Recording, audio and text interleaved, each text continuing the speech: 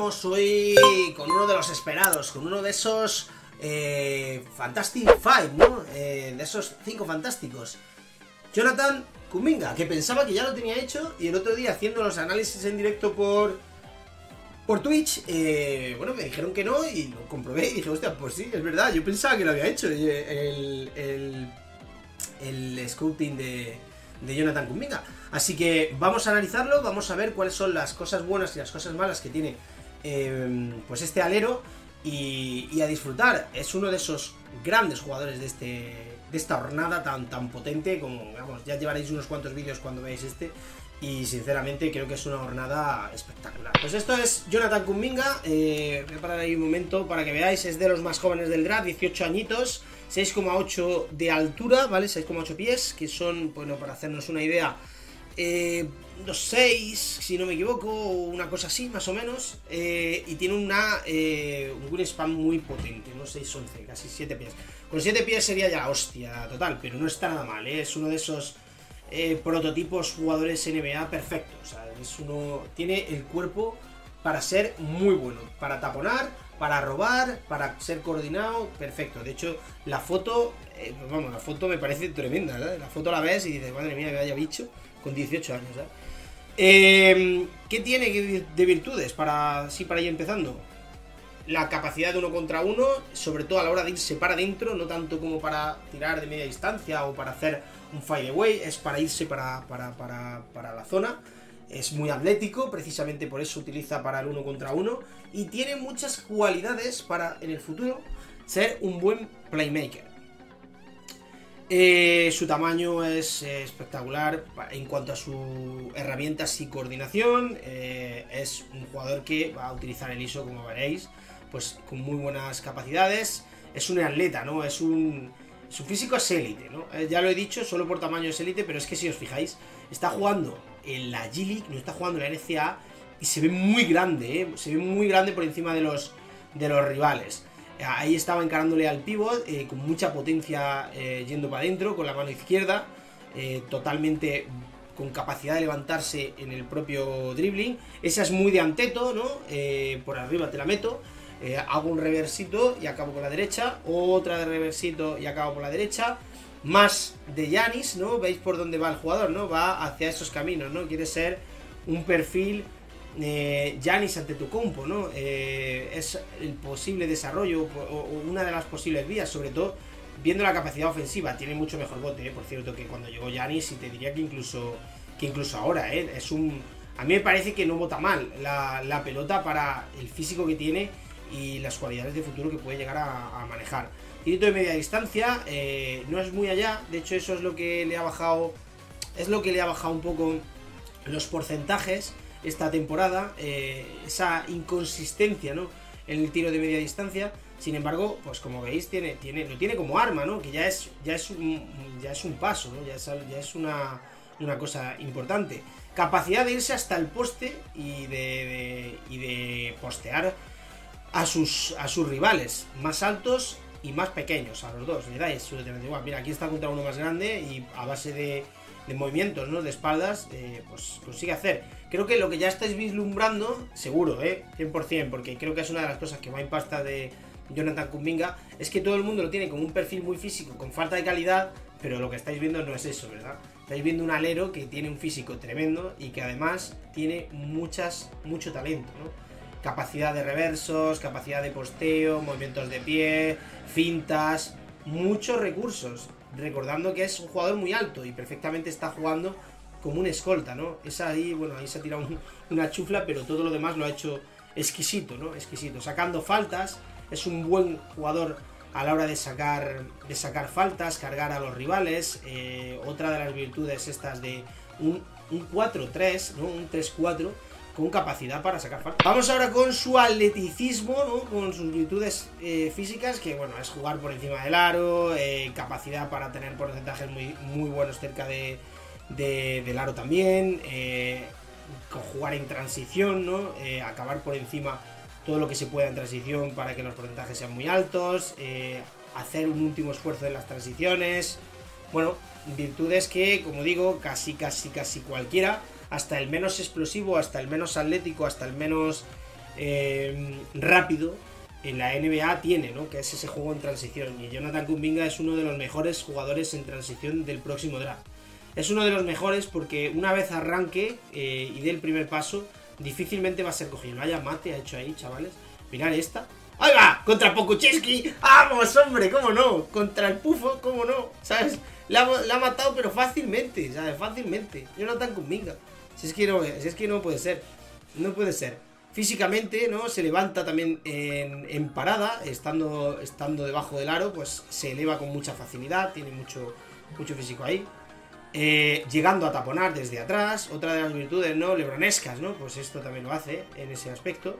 En cierta, en cierta eh, capacidad, en cierta cualidad, em, se le podría comparar con LeBron James. Eh, sería un ejemplo muy justo el de esta comparativa por ejemplo, otros años o años anteriores se ha comparado a jugadores que son mucho más bajitos que LeBron o más pequeños de peso, como Andrew Wiggins, ¿no?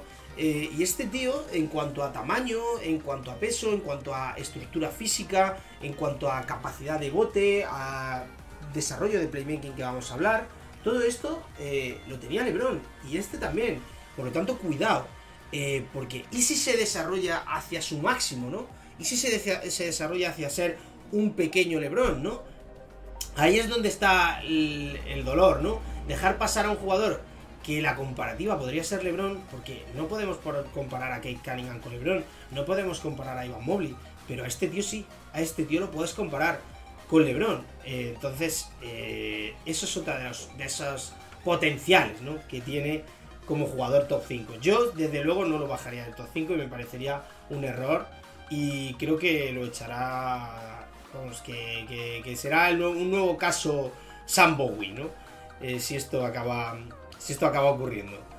Eh, posteando y encontrando al que entra, ¿no? Eh, como, como, como, como trailer, ¿no? encontrando al pivot, ¿no? Debajo del aro también, vía penetración. Uno contra uno, que como hemos dicho es una de sus virtudes. Sí, mucha visión. No es nada chupón, es un jugador que eh, si puede la pasa, ¿eh? Si puede la pasa, no es para nada, no es para nada chupón. Aquí un, buen pase, cambiando eh, de lado totalmente. Eh, aquí con bote, un poquito más pesado, ¿no? Aquí le ha costado un poquito más acabar la jugada.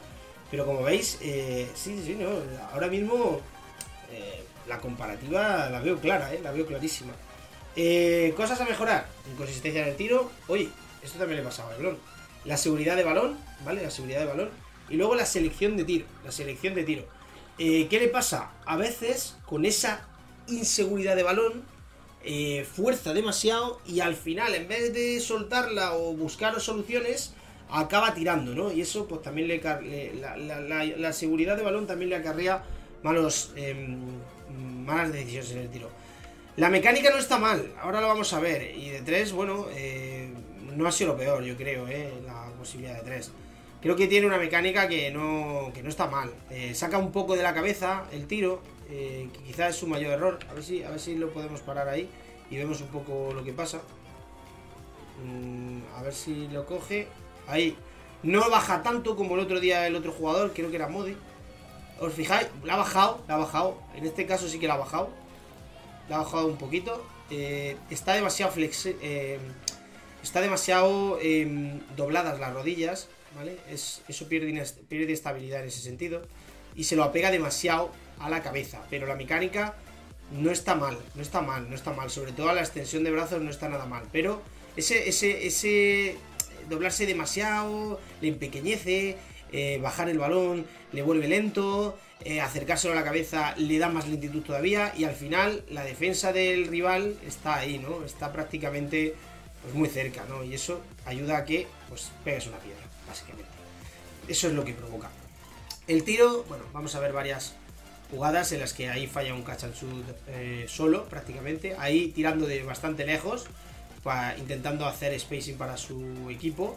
Eh, ahí el pase tampoco ha sido muy bueno y claro, su mecánica tampoco es tan rápida, ¿no? No es mala, pero no es tan rápida y eso le ha pasado factura que le han hecho un tapón, básicamente. Ahí ha intentado un step back, eh, se ha sentido más seguro, ¿no? A la hora de ejecutar el step back, lo vamos a ver. A, ver si, a ver si podemos verlo lentamente.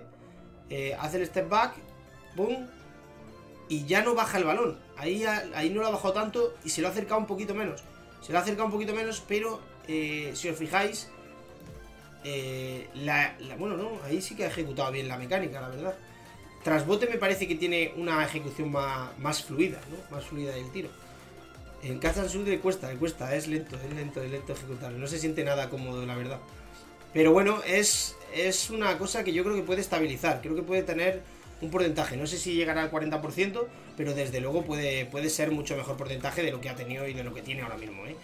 Eh, cosas de la seguridad del balón. Vamos a ver cómo, bueno, le falta mm, cuidar más la bola para poder tener más valor en él, para jugarse más ISOs y sobre todo también dar más bases, ¿no? Tiene ese potencial de, pase, pero le falta eh, pues proteger más la bola. Ahí ha sido muy previsible. Tiene ideas, tiene ideas a la hora de dar esas asistencias, pero le falla un poco el, bueno, el tomar riesgos, ¿no? Es que algunas de las que da dices, hostia, es que estás loquísimo, ¿no? Esta ha sido fallo, esta ha estado muy previsible en cierto aspecto. Vamos a ver qué hace aquí. Aquí ha sido cuestión de lentitud, eh, se ha dormido un poco. Aquí ha querido arriesgar demasiado, no puedes arriesgarte ahí con dos tíos viniéndote a hacer un pase con solo una mano. Vamos a ver aquí, 2 contra 1. Varios, varios, si os fijáis, se hunde un poco en el 2 contra 1. Se viene abajo, cuando le hacen el 2 contra 1 es todavía una cosa que tiene que desarrollar. Eh, otra vez previsible, en el 2 para 2. Eh, uno contra uno se ha botado un poco en el pie y se le ha ido el balón. Bueno, pequeñas cositas que son en su desarrollo, ¿no? El bote, básicamente. Y sentirse cómodo con el balón en las manos para precisamente mejorar esta selección de tiro y poder llegar a ese potencial de playmaker. Milk Ranjo hizo, eh, ha tenido un volumen muy alto de tiro. Mm, el problema es que en algunos ha sido, pues eso, demasiado forzados, ¿no? Ha forzado demasiados porque es un tiro en el cual él se siente cómodo, él se siente cómodo tirando de media distancia, como hemos visto, de 3 no está muy cómodo, pero de media distancia sí que es mejor tirador y, y ha forzado algunos tiros que, que, son pues claramente malas decisiones y malas, malas, malas selecciones, básicamente. Aquí se, se acerca demasiado al rival, cuando no hacía falta, podía haber tirado un poquito antes de la bombilla, aunque estuviera más cerca del triple y verse un tiro más, más óptimo. Ahí se, mete en la boca del lobo. pequeñas conjeturas que tiene que mejorar en resumen, ¿no? Ese es un poco el resumen. Y poco más que deciros, eh, Jonathan Kuminga, eh, en definitiva, es un galero con capacidad para crecer hacia un all-round. Eh, ¿Qué es eso? ¿Qué significa eso? Que su perfil máximo, igual que decía en su momento con Luca Doncic, que era Harden, pues el perfil máximo de este tío es LeBron James, ¿no? Es el espejo en el que mirarse, en el que desarrollarse y en el que buscarse. En defensa, como veis, no han puesto gran cosa porque tiene mucho eh, tiene mucho hype, ¿no? Por parte del público en el tema defensivo y hace muchos tapones, roba balones, es muy rápido en ese aspecto, pero tiene todavía desconexiones eh, a la hora de hacer ayudas, por ejemplo y, demás historias. En uno contra uno obviamente es una bestia porque es atlético tremendo y además es muy grande. Pero eh, esa es un poco la cosa. Mm, es muy buen defensor, pero no es élite, no es los mejores defensores que podíamos ver. No es Scotty Barnes, por ejemplo. Pero en ofensiva creo que es bastante mejor que Scotty Barnes. Tiene muchas más cosas que, el otro. Y, el desarrollo de futuro creo que se ve claramente muy grande en el, en el Kumbinga, a diferencia del otro. Cuestión de cuidar balón, que ello provoque que seleccione mejor sus tiros y que ello conlleve una mejoría de la consistencia también en los lanzamientos lejanos, ya sea de media distancia y sobre todo de tres. Eso y será un pedazo de bestia, Jonathan Kuminga. Un pedazo de bestia. Gran jugador. Si necesita un alero un equipo, Jonathan Kuminga es el jugador, chicos. No hay más. Espero que os haya gustado, dejad esos likes y nos vemos en el siguiente. Hasta luego.